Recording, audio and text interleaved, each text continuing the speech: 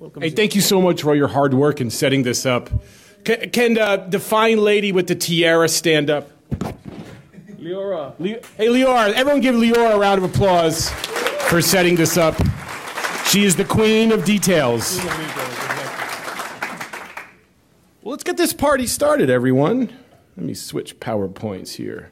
You know, I've been working with technology and code and software engineering my whole life, and now I'm an expert in PowerPoint. That's that's that's that's really wow. That's where my life has gone. So I want to talk to you. This is a keynote. I, am I'm, I'm going to talk about a general overview of application security in some way. This topic has been so fundamental to, to my life. It's something that's my job. It's my personal passion. It's my hobby. It's all encompassed my life in the last 10 years. It's something that I'm very happy because this is a, in my mind, the ultimate puzzle in information security. And I look at traditional security and everything is quickly running to AppSec because it's all about code these days. Even infrastructure is code. So all of you in this room who are committed to application security, who care about this topic, in my mind, this is what information security is about. Let's give us all, each other a round of applause for being here. Yeah. So let's talk about the very unabridged history of application security, right? Things the point I want to make here is that things are getting extraordinarily better in the world of secure coding and application security.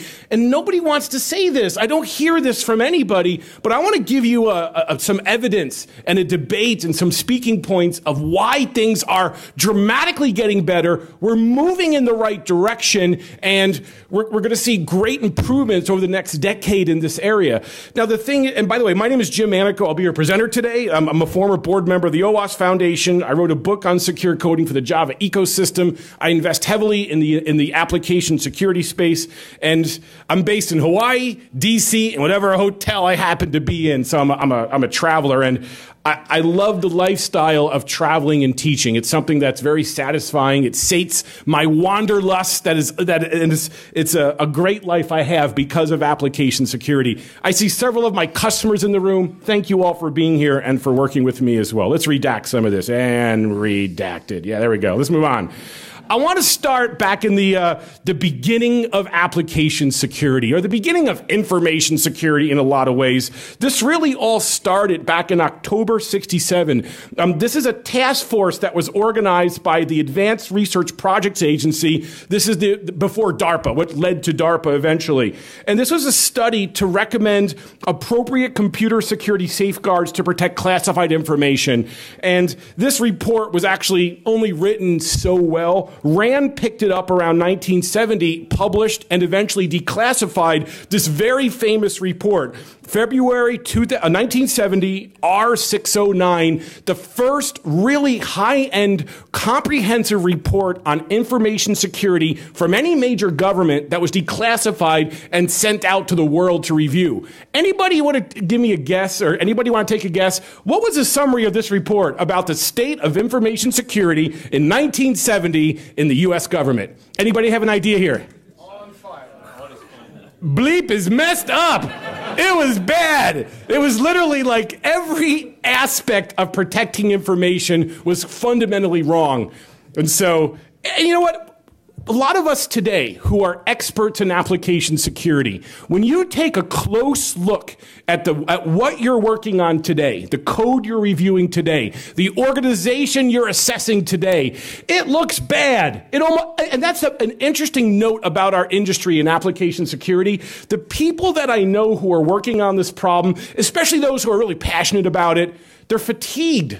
They're a little downtrodden. They're beat up. Why? Why is this AppSec world that we're in, why does it weigh so heavily on so many of us? Anybody? Nobody writes secure code. No, it's rare where folks write secure code. How often do developers listen to exactly what you say about security? Almost never. And so it almost seems like that this pro, uh, as we move down this path, that it feels like we're taking two steps forward and sometimes five steps backwards. And it's frustrating. It is an emotional drain. There's a high rate of depression and even suicide in our industry. Not, not even joking around. This is hard work that drains people. But I want to take a look at all of this from a different perspective. Let's pull back, everyone. Let's take a look like at 1939, where Bombe came out, the first professional pen test testing tool. Anybody know what this is back in 39? What, what is it? Go ahead. It's a crypto breaking device. World War II. Who is the lead of this project? He's on the currency for you Brits.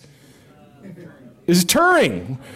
This pen test tool is made to crack German ciphers of, of the era, right? The uh, Axis ciphers of the era. And how did they build this? With software? No, with hammer and nail and wire and cable and electricity. It was a large physical device. Helps help defend the free world and give us the liberty we may have today. Let's just erase that idea for this. We'll get back. We'll get back to that later on. So jumping ahead, we have 1972. We have the Anderson report, and there's a, Anderson made a lot of contributions to information security.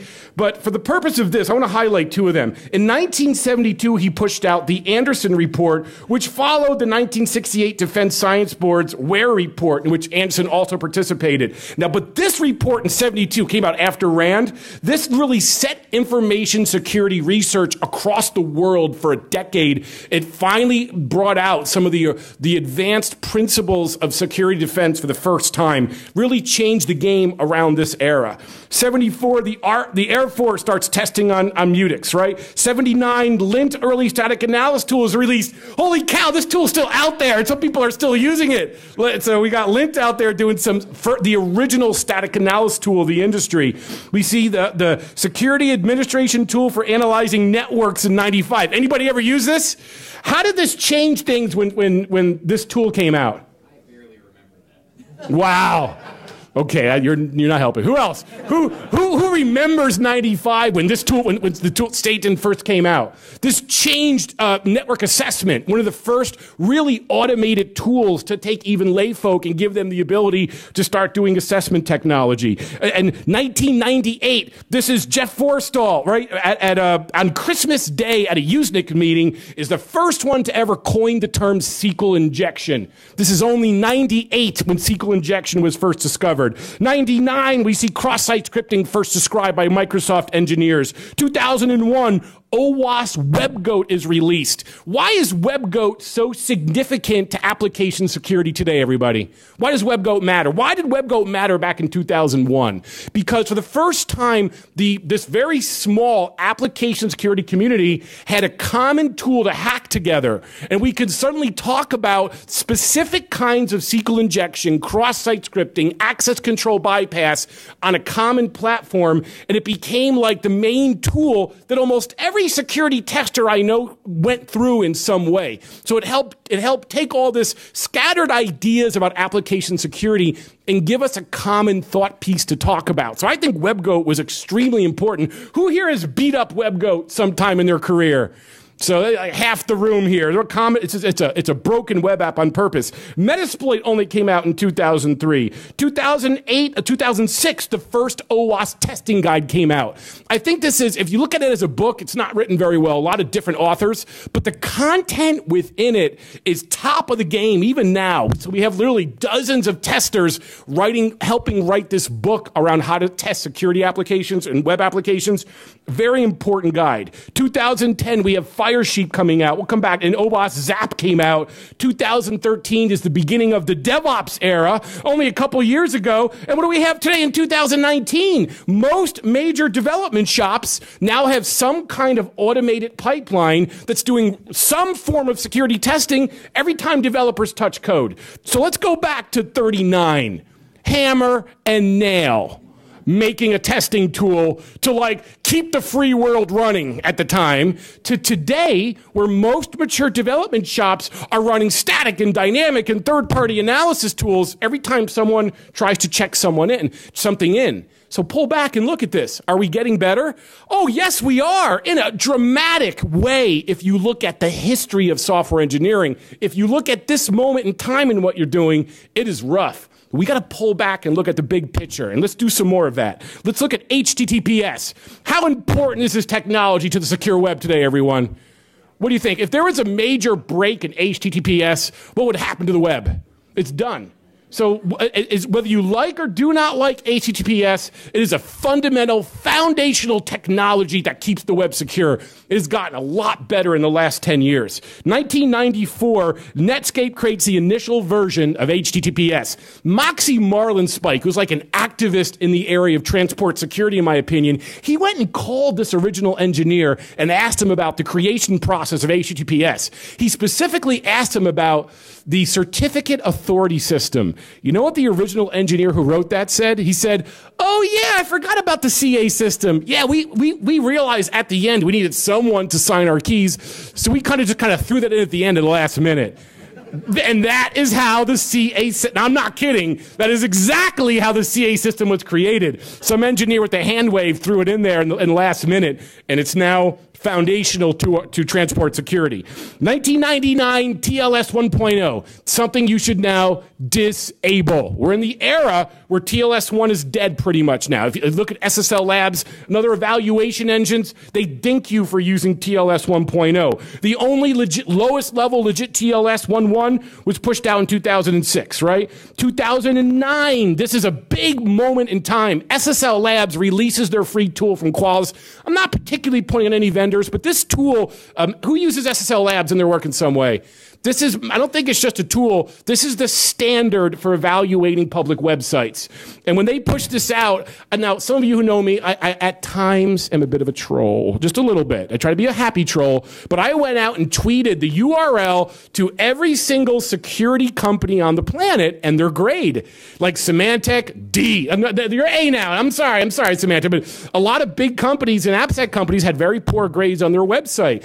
And so, and, and I'm, I'm like doing the LOLs and, oh, you got an F and being a little showboat about it. I had a lot of senior people from different companies please, say, please stop this, Jim. You're causing trouble. Ivan Ristic, who wrote this tool, showed up and said, I have a suggestion, everybody.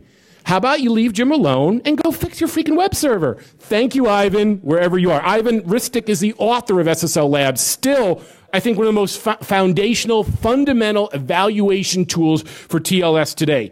2010, Chrome starts to preload sites. It happened early, where a lot of the, in 2010, Chrome was hard coding their own properties, and you can't use Chrome to visit Google properties and HTTP as early as 2010, right? And then, yeah, baby, Firesheep comes out. Who, who, who had a little bit of fun with Firesheep? That's illegal. What are you talking? You shouldn't do that. That's illegal. Oh, so whatever. Fire, eh, back in this era, back in the Firesheep era, which is yeah, right around 2010. Uh, most most major sites would log you in over TLS and then drop back to HTTP for performance reasons. And Firesheep came out on OSX. You run it, run on a wireless network, and you'll just see other cookies light up. Click, and you're that person. And this really forced an entire industry to, to standardize on what we see today. You're doing HTTPS everywhere, well configured, or you're not doing security. Is there any excuse to use HTTP anywhere? Anybody? Anybody want to play that game with me? Is there maybe to redirect to HTTPS only? But there's no good excuse to use it anymore. Maybe to download updates that are properly signed. All right, let's move on. Let's move on. 2011, we see the introduction of forward secrecy in modern ciphers. So if, even if someone steals your private key, they can't use that to, to, to, to do to, to break confidentiality of your connection. 2013, we see TLS 1.2 go live. 2018, Let's Encrypt shows up, and they get they take such a major stance in giving out free certs that we see some of the big commercial players start to sue them and go after them. And that's a sign that Let's Encrypt is doing the right thing. It would be rude of me to point that vendor out who is suing them Comodo. That would be rude. I'm not going to do that. 2000, 2016, half the web is now HTTPS. Chrome 51 now defaults to HTTP2. How can, can you do HTTP and can you do HTTP an HTTP version 2 in a modern browser? The answer is no. So this is a new protocol coming out where plain text communication and bad ciphers are not even possible as early as 2016, that standard in the browser. 2017, certificate authority uh, authentication or authorization becomes mandatory. So if rogue authorities start minting certs in your name, you're going to know about it fast. And in 2018, Let's Encrypt offers wildcard. TLS 1.3 goes live, published 8446, and almost immediately we see that live in several browsers. And now certificate transparency is required for all new certs. These are extraordinarily high level esoteric ways to augment TLS. They're now standard in the browser. So let's go back. 94. What's the CA system? Uh, I kind of threw it in at the end. And what do we have today? Some of the most astute, detailed, and effective protocols to lock down TLS are now standard in the world's most popular browser. That's where we've gone. We have come a long way in a very short amount of time, and we're only getting better. And there's, there's SSL Labs. That's what your grade should be, right? Let's move on. Let's move on. Let's, let's talk about password history for a second. So let's start in 1961. One of the biggest password bugs, one of the earliest password bugs in history I could find. This is an old, like, uh, time sharing MIT device at an academic university. And they ha- you know what an MOTD is? Anybody old like me? What's an MOTD? Message of the day. So when you log in, the administrator pops in and message of the day. So they had a flaw within within this system that the message of the day would walk through the messages and then walk through everybody's password. And so the message of the day as you log in and log out would be someone else's username and password. And this is the, and this is, in my mind, would you how would you rate that bug? Would you go would you go green? Would you go yellow or would you go red? You go red. He's going red. I'm going red too. It's pretty critical pretty critical. But that this this is where we start around password security. 61 really early use of passwords and bleep is bleeped up, right? So let's move on though. 1970s we see Crypt3 released in Unix. And this, that's using an old M209 code from World War II uh, cipher devices.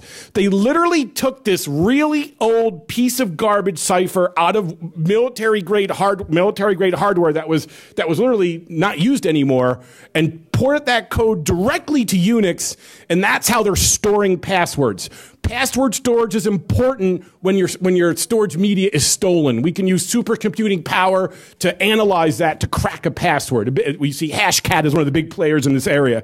But in 1978, Crypt3 comes out. It's now, um, it's now DES based. It's the first time we see a stretching part of a password storage algorithm, the first time we see salting, and the first modern use of password policy. We're getting started now. But then in the 80s, kind of like the 80s were kind of like a dead area in security research. Very few advances from 80s to the 90s for some reason. But we do see Unix access to the uh, PassWD database limited only the root user. So they're starting to lock down authentication around Unix for the first time in this era. 1991, MD5 uh, based password storage. It's got some modern properties. We can do better than this. 94, MD5 is based on Crypt3 with a thousand iterations and a 48 bit salt that can handle two to the 48th potential users. Now we're getting into, into modern, modern uh, password storage, right? We see 95 SHA-1's released and 99, we see bcrypt re, uh, released for the first time. And by the way, bcrypt today is still an excellent choice for password storage. Anyone have an advice on how many rounds you should use on bcrypt? 13 is the minimum I, that the Hashcat pros have told me. Some people say 10. I think 13 is the right number of rounds to slow it down to stop even advanced attackers who've stolen your data. 2000, we see PBKDF2. This is good for military U.S. applications although it's the weakest of good password storage algorithms. 2001, SHA-2 comes out, and in 2007, PHP starts defaulting to bcrypt, giving a whole generation of developers a great default in a common language to store passwords correctly. And scrypt comes out in 2009, which lets you even tune how much RAM each round uses to stop like custom hardware attacks. 2015, beginning of the modern era, we see Argon 2 released, and now Argon 2i Which allows you to have stretching, slow it down, consume memory, can even limit the number of threads operating on your, on your ciphertext. Boom, we have a real modern algorithm that will last out the next decade. And in 2016, this is a really important date. This is Dr. Devdatta Akhawe from Dropbox. He, he publishes an article on how Dropbox is storing their passwords. This is the first time a researcher actually describes the details of password storage from a programmer's point of view in a highly accurate and useful way. So this really begins the current era where you really got to store a password using rigorous techniques, Argon 2, uh, salting, maybe even internal salting, good memory hardening usage, good thread hardening usage, and so on. This is the beginning of that era. And if you haven't read this article, I highly encourage you to do it. So now we're looking at OWASP, right? So around 2001, the OWASP Foundation was, was, the OWASP Foundation began. This is of course, the Open Web Application Security Project. We're a 501c3 charity. Our mission is to make application security visible so that all of us, our customers, can all make good decisions on application security risk. I, am a board member of O. I've been a board member of OWASP. I know the community. This is some of the happiest moments of my professional career were around OWASP. Some of the most miserable ones being a board member, not always the funnest thing to do, but that's a different, that's a different story. But I'm really fond of the OWASP mission. I love it when people come in and try to organize us. I think half, half the brilliance of OWASP, it's not organized, it's chaotic, and people are doing whatever they want in terms of research in this, in this area. So I'm a big fan of OWASP and the people within it. Around 2002, uh, we see the first developer's guide released from OWASP. 2003, the first OWASP top 10 shows up. This is written by Jeff Williams and Dave Wichers in this era as a comment to the SANS top 10, which was about informa- uh, infrastructure security and network security. And we did our own application security list as early as 2003. Unfortunately, PCI picked it up, right? And they said it was a standard. It's a top 10 list, but it's a different, that's a different story. 2006, the OWASP testing guide work begins. Uh, OWASP Reform and ESAPI come out. These are the first two libraries, really early era, that help you stop cross-site scripting and are meant to be security libraries to solve some of these web security issues. At 2008, the first standard from OWASP comes out, the Application Security Verification Standard. I'm one of the members of that project. It's really meaningful to me. We just released version 4.0 recently, and I do believe it's one of the most rigorous standards for secure coding and for assessment professionals. I'm a big fan of the work of the team that puts it together. 2010, we see the start of ZAP. Mod Security Core rule set moves to OWASP. These are tools used in the ZAP. I mean, ZAP is a professional tool that goes head to head against Burp in terms of its scanner capability. It's free and open source. Right on. That work started about nine years ago. 2013, we see the Defect Dojo. 2014, Juice Shop shows up from our friends in Germany. This is a full mean stack application, Angular, API, completely vulnerable as like a CTF to teach you how to hack. And it's it's frankly, it's a commercial. Pro- it's such a brilliant piece of code. It's a commercial product. This is a uh, Bjorn Kimminich who just is obsessed about making this as high quality as he can. Understands his responsibility as an open source developer. Who's who's hacked a juice shop? Who's done juice? Half half the room again. You agree? It's it's that sophisticated. I'm blown away by the detail in it. And as he publishes more and more, he drops and puts, popping new labs into it too. So he, he takes it seriously. 2015, we get Jeremy Long showing up. Jeremy Long was working at Wells Fargo in this era, and he was he needed a third-party library security solution. I won't mention the vendor; that would be rude. So they show up at Wells Fargo Sonatype and ask him to buy their solution, and they, they they're, they're charging a lot. And he's like, I'm not going to pay for this. He, they go, well, why don't you go build it yourself? And they walk out. Guess what Jeremy started doing the next morning? Guess, sir, what did he do? He started building it himself. So he actually is the main author of the OWASP dependency check product. And this is literally another commercial product you can wire into your pipeline to check how if your third party libraries are up to date. I'm really proud of Jeremy. He's like, he wakes up at 5 a.m. to work on this to, as to relax before he starts his day as a, as a, as a software engineering banker. So a brilliant, brilliant piece of software. Um, what else do we have here? 2018, the IoT top 10 10 shows up. That's how you know things have jumped the shark, where we have now like 20 top 10 lists on every topic there is. In 2019, uh, just a matter of a couple days ago, one of the, uh, the OWASP cheat sheet series just made flagship status, and uh, we have over 50 cheat sheets helping developers write secure code. So where do we start? We see OWASP founded in 2001 with like a one page uh, web page and about 20 people who are just starting to get started. And then, you know, not too much later, what, like 18 years later, we have books, commercial products that compete with the, with, with the public sector, and, and, and a number of publications that are hit literally tens of millions of times a year to help people write secure software. I know it's stressful. I know what we're doing is challenging. I know a lot of us who go home upset every day at the frustration of our jobs. You got to look back, got to pull it back and look at how things have changed in just 20 years, and you'll see we're not just getting better, we're getting dramatically better. And take a look at the OWASP flagship projects that, are, that, are, that we have here. They, they, they are instrumental in application security work today, whether they're open source or not. So let's talk about my, one of my favorite topics, cross-site scripting, right? Cross-site scripting is, of course, content injection, JavaScript injection in the browser, in a mobile, in a, in a web-based user interface. And this is a problem because there's been so many attempts to solve this problem. Anybody ever do an assessment with no cross-site scripting? One. What? Tell me about this app. Was it, was it a web app? Uh, yeah. okay, it was a web app.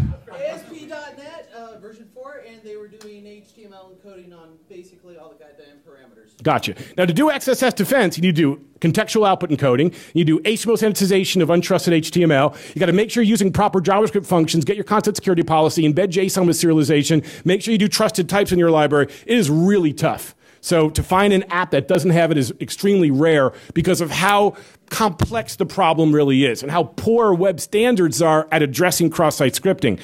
Cross-site scripting was first discussed in 1999 by Microsoft engineers.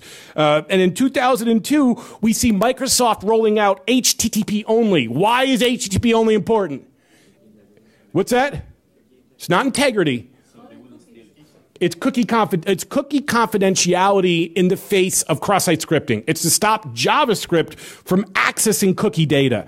And actually, you know, it's not even that important, I dare say, because if I get XSS in your app, I don't have to steal your cookie. I'll just force a request which will automatically use your cookie anyways. I can do a stored request forgery. It's not that important. We still should use it. But as early as 2002, the first defenses at the standard level was coming out for cross-site scripting. 2005, go Sammy. Oh yeah, uh, and Sammy, most of all, Sammy is my hero. This is the first time cross-site scripting was used to conduct a worm against a major social media site. This one little attack we're looking at right here took down all of MySpace. It blue screened the entire global cluster of MySpace because Sammy had forced someone else through cross-site scripting to do a forged request and make him a friend just by looking at his profile. And if you looked at his profile, you'd have a copy of his profile on your friend list and if somebody looked at your profile, you, Sammy would be added to them as well. So you'd be added to Sammy's friends list as well. Within a few hours of releasing this attack against MySpace,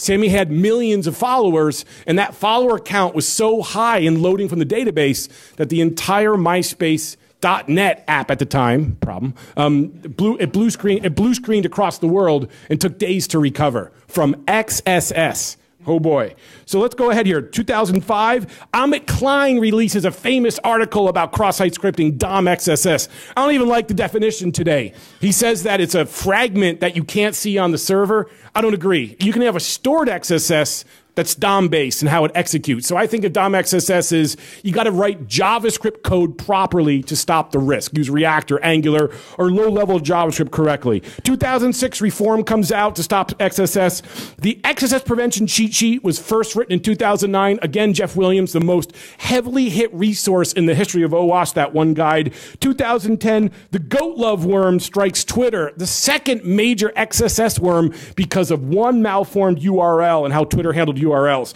And even Apache's entire infrastructure was popped with XSS via 2010. A lot of people are like, I don't care about XSS. It's no big deal. That's not a good attitude. Sorry, folks. We've seen XSS do massive damage across the world many times in recent years.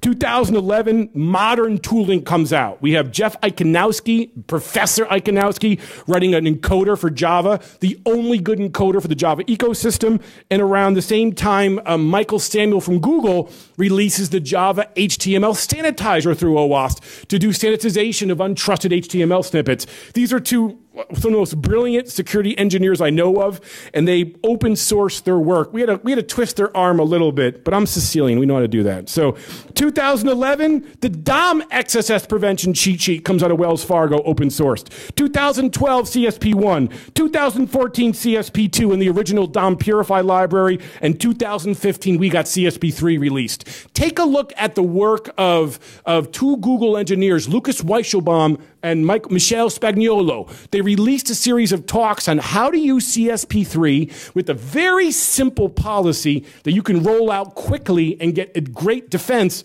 across any browser and, and it degrades properly. That, and that's kind of the state of where we are today. Now, in the future, we see Chris Christoph leads a Google Zero project. He just released trusted types in the browser. So as a programmer, you can programmatically set defaults on how the browser handles certain sinks in JavaScript. This is the solution to DOM XSS by far. So where do we start? We started with HTTP only and Microsoft engineers talking about this without good defense strategies to now standards being written that are effective in the browser to eliminate this risk altogether. I predict because of CSP CSP3 and trusted types that XSS in under 10 years will be largely eliminated from our ecosystem of web applications. You can quote me on that.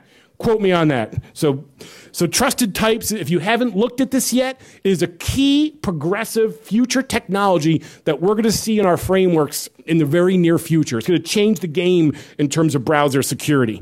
Here's a few more important dates in AppSec history, right? We, again, Netscape released HTTPS in 94 right? We see TLS in 99. Where am I going here? Did we do that? We did this already, didn't we? We're gonna we're gonna move on here. We're gonna move on. We're gonna move on. So now where are we today? AppSec is now global. I travel the world giving talks on this topic, and you'd be surprised the, the countries and the people that still ask for these talks. It's everywhere in the world, AppSec matters. Small islands in the Pacific with small governments care about AppSec. The smallest companies now realize the code they're writing is their security. And OWASP has 264 chapters of people just interested in this topics at a meetup level all over the world. And again, 20 years ago, this topic was not even discussed. Even five years ago, very few folks were doing AppSec type of services. And today, it is a global phenomena how much AppSec services, tools, and professionals are needed. Are you with me on that, folks? Who here is an AppSec professional? How many of you that are AppSec professionals are hurting to find work? Please raise your hand. One. So, well, that's right. I was that's a personal problem. No, so that was was that was that rude to say that to him a little bit? All right. Uh, how you doing, buddy? Good to see you. No, the point is, anyone know anyone know the unemployment in the AppSec industry right now? Seriously, statistically, it's literally zero percent. It's, and it's and it, hey, Linder, looking to hire anybody in AppSec by any chance? Yeah, yeah. Don't hire. No, no, get out of here. No, no. The mine. I get him first. Sorry. No, and we're all looking. We're all. I mean, if you do AppSec, the world is your oyster right now, and it should be because this is a hard topic. It takes years of ramp up to be effective, and in my mind, AppSec is really where the rubber hits the road when it comes to information security. Yeah, you can go hack your pretty badge. I like. I have fun doing that too. You can go parachute with your toaster and tune your firewall. That's good. But my belief is those of us who are helping secure code, who are working with developers, working with organizations to actually secure applications, in my mind, that's really what info, information security is today. As we see the next 10 years progress, as your infrastructure disappears and it becomes all cloud based, your security becomes a YAML file. So code matters, not just at the app level, but at every era, area of computer science. So AppSec, our work is not done, and, and the work is extremely important as well. Now, a few notes of how things have progressed oh, AppSec has become so important. Um, one, of our, one of our volunteers, John McCoy, has led the charge to make sure OWASP does outreach at DEF CON. I'm really proud of the work John has done. You know, he's been at DEF CON, he's been at DEF CON since the beginning. It means a lot to him, and he wanted to make sure AppSec was here. Same with the, the folks who organize the AppSec Village here. We see OWASP doing that as well. I'm just really proud to see the passionate volunteers care to spread the word of AppSec in a community that's traditionally not very AppSec based. In 2018, OWASP gave out 35 scholarships. This is another amazing professional, Zoe Braderman, who runs Women in AppSec for the OWASP Foundation. And we even, we even allocated $25,000 just to diversity at our next big conference. I know this is kind of a, uh, yeah, diversity. Yeah, exactly, and inclusion. This, I know it's a, this is a politically charged topic. Just mentioning it upsets some people, but I think it's important to try to make a difference in this area because we've not done that good at this as an industry. The conferences I went to 10 years, the things I saw, just not right. And so I, I, like the idea of trying to clean up the mess to make our conferences and our community safe for everybody. Does that make a little bit less fun? I really don't care. I care about safety and I care about making places inclusive for everybody so we can learn together. And if you don't like that, go F yourself. Um, thank you. So let's talk about the future what's going to happen in the next 20 years, right? So, yeah, agent, these, these are my like conspiratorial ideas and some reaching into the future. But this is what I think, this is where I think we're going, right? So, number one, all identity becomes tied to blockchain like security architectures. It's hard to even say those words. I'm sorry. But seriously, I don't care about I don't care about Bitcoin. It's all it's all fake money anyway. Sell your sell your Bitcoin and get real money and real investments. Enough playing around. Come on, people. But the but the concept behind blockchain and the integrity behind it, I think, is really fundamental. We're going to see a lot of identity tied to that, so we have accountability at that area. What else do we have here? Hardware based authentication and individual HSMs for every person on the planet will become the norm, and we already see that. We look at NIST Special Bulletin 863b which is your homework. You got to read it. SP 800 63B, the Digital Media Authentication Guidelines for, for the U.S. government, written by Jim Fenton. Amazing piece of work. In order to achieve AAL level three, this is authentication for critical infrastructure, or you're ha handling billions of users' accounts and similar level of risk, you have no choice but to use hardware HSM. In fact, in European law with banking, you've got to use certificate based authentication. So when I wrote, wrote this a year ago, it's now actually come to pass and it's already in the legal, in the legal system. We're going to be forced down that path. I do believe, like any other multi-factor technology that involves you typing in a number, it's vulnerable to phishing. It's garbage. So I, we're at the era now where we've got to push to hardware like a YubiKey type tech if we care about security. You know, Bob Lord gave a keynote and he's like, look, I know we got ML and all this fancy stuff, but I'm rolling out YubiKey to everybody. And I think that, that kind of back to basics thinking is going to make more of an impact than any MLBS we have out there on the market right now. All right. So extremely secure frameworks and languages defaults are the norm. This is already happening. Anybody use React or Angular? Anybody assess React or Angular? How are your How are your assessments? Is it easy? It, no problem. You're lighting You're lighting it up.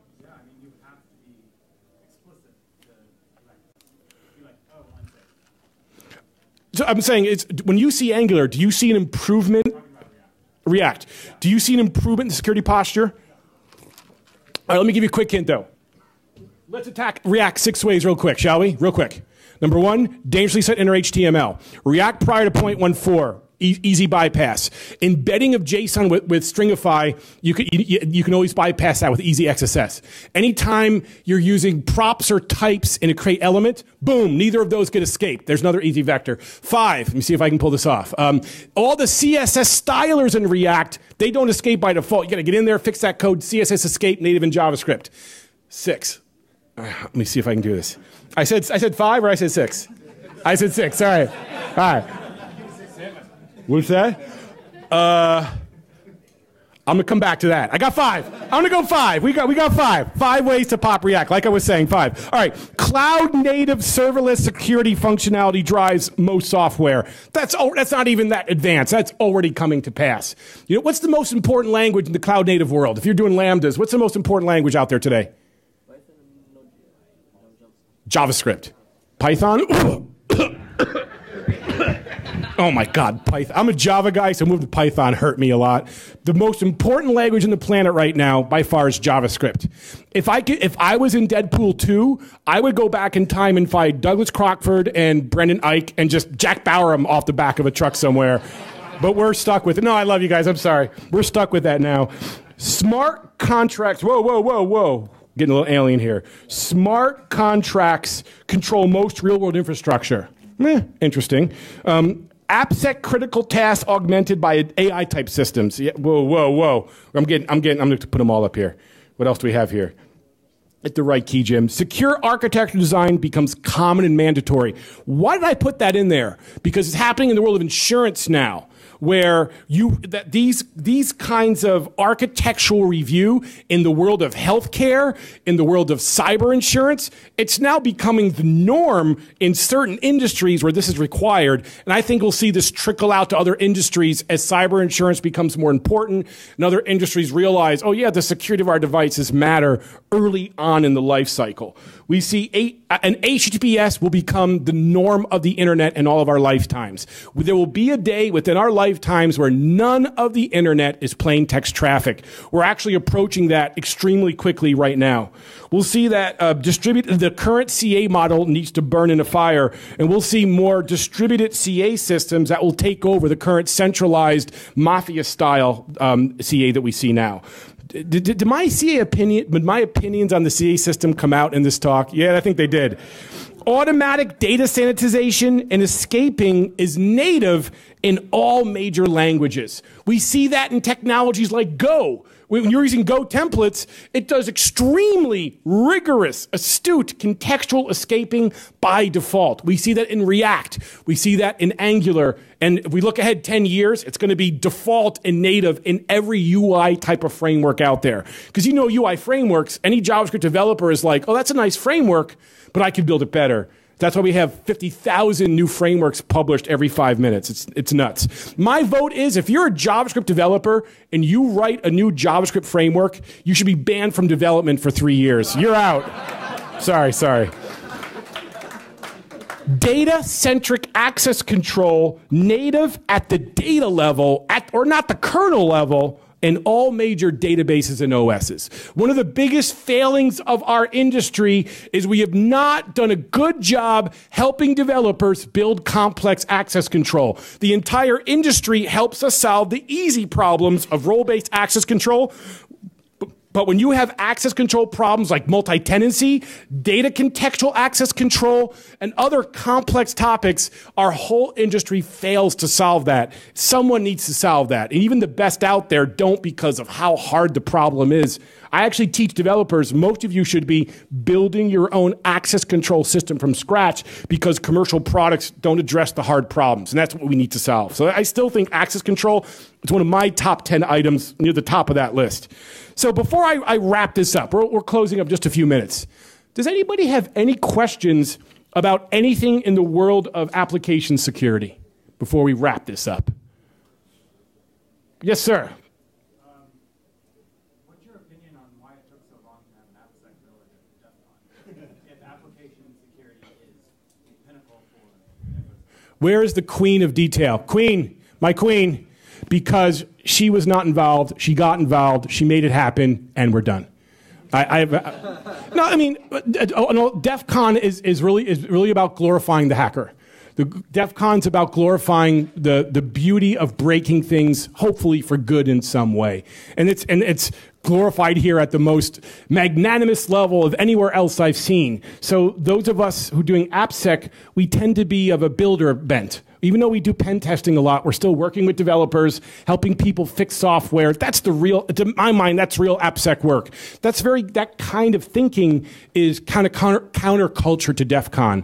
But the world of traditional security and application security have, have collided so hard in recent years the AppSec is no, is no longer a sec secondary thing. AppSec is information security in the modern era, and that push is going to happen only more and more in the future. That's my opinion on that. You had a question as well, sir? Yes. Artificial intelligence and machine learning, how do you see it in AppSec? Eh. yes, ma'am. That, uh, honestly, that's that's all I have to say about that. I, I, I don't know. I'm, I, and I'm not trying to be rude in any way, sir. But my answer is, what was it again? Eh. That's that's all I got. All right, you're up. You're up. I'm sorry, ma'am. Developers are using many different languages and frameworks. Yes. What is the recommendation? there?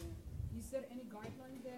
Use this language because it addresses many of the you know, in all the studies I've seen, a lot of a lot of big shops have done studies on this. They've looked at all different languages, frameworks, and similar. Do you know what makes a difference in terms of the number of vulnerabilities per framework? The team building that code. So it really doesn't matter what you're using, but you need to have, in my opinion, you need to have number one, an AppSec professional who knows how to write secure code, embed it with your team day in and day out, and you need to have mastery over the framework you're using a priori before you get rolling. Without those two things, the chance of you using that framework securely is zero. That's why even among relatively decent frameworks, we still see insecurity because the expertise to use these well is still esoteric. And so I don't care if you're using one framework or using 20. And if, this is, if these are important apps to you, you need to have expertise of how to configure, use, and code to those frameworks in a secure fashion, or your chance of releasing secure software goes to zero fast. And in my world, I'm an educator. I teach those to write secure code. I go back a few years. There's Java, a few other things, and it was easy. Now, today, there's this proliferation of frameworks. I've had to bring in many other instructors who have specific expertises in each area to make my customers happy. And this is brutal. This, the research needed to be done to, under, to teach developers about secure coding is getting rapidly more difficult in a lot of areas because of this problem. So, so if you do have a company with, that are using every framework under the sun, that, that's usually not a good sign in your ability to write, to write secure code across whole organization. I'd recommend doing a, a long process to reduce the attack surface, to, to standardize on a couple common frameworks, get rid of the esoteric ones you don't need. It's easy to say, hard to do. That's why we're here to try to help solve this problem, man. Thank you. Yes, sir.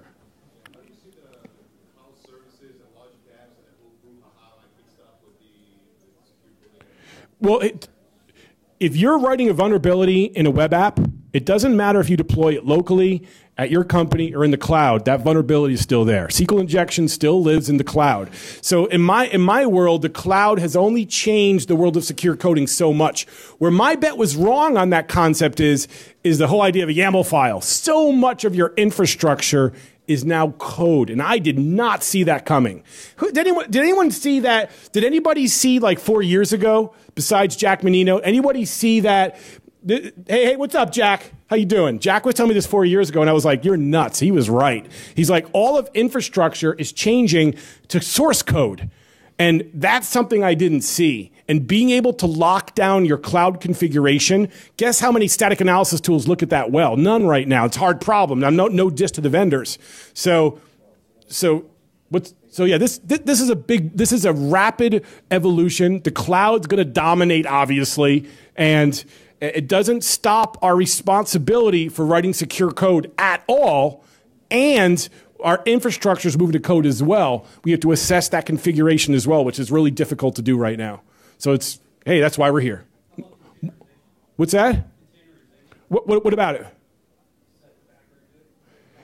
Uh, I personally think containers are dead, and I think the real future is serverless technology. I do not want to maintain. I do not want to maintain a container. I do not want to maintain a Kubernetes cluster unless I really hate myself. It's the most complex pile of BS I've ever seen. Even though it saves you money, I don't want to have to tune infrastructure anymore. I want to go new Lambda, drop code, have it run 50 million security tests, and I'm live, baby. That's the future of computing. Not containerization, not Kubernetes BS, not OpenShift, but drop code and run serverless that's the future, in my opinion. Jack?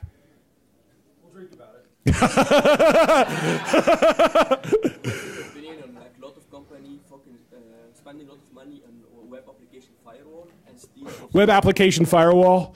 Ooh. Uh, and steal, uh, and ah. steal Ooh. I- solving the real problem. I'm a founder of web application firewall company. I can't answer that question objectively, but I'm, I'm going to quote Jim Bird. E- Even though I've, I've, I've invested in one and I care about the space, I'm going to, I'm going to quote uh, not Jim Bird. I'm going to I'm going to quote.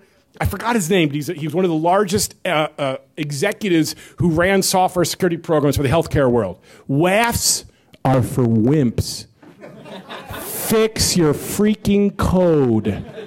That's really my take on it. And I founded a WAF company. Let's move. Let's move on. How long do you predict until C++ majority of it gets killed off by, say, Rust? Rust. Rust is the future. I think Rust is such a brilliant language. One more. One more question. I got to. Uh, how much time do we have? Where's it? Where's the time guy? Ten minutes. Let's do. I like you. Like Q and A. More Q and A. What you got?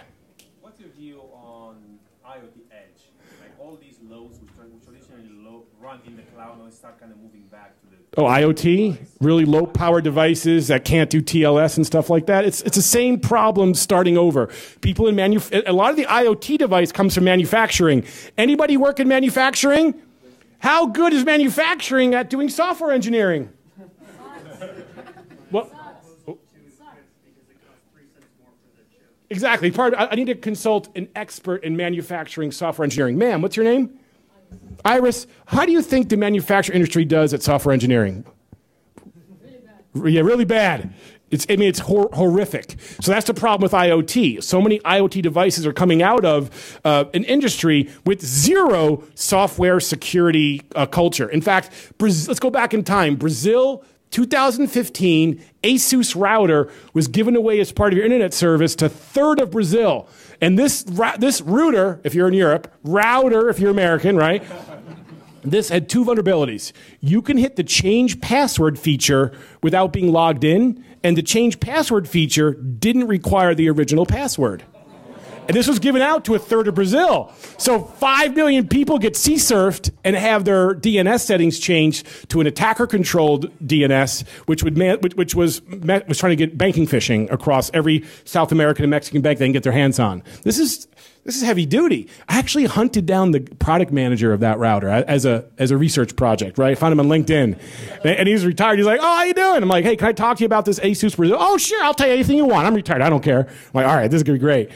Like, how did that router with those vulnerabilities? Oh, I remember him well. I saw the paper. How did that? How did that? How did that get out of security testing? And he starts laughing at me. Guess what the next comment was? What security testing? But I'm bump. Next question. There's my IoT answer. Yes, sir. Any thoughts on uh?